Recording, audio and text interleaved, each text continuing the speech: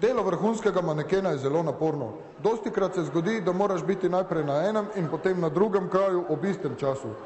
Pri tem mi najbolj pomaga moj novi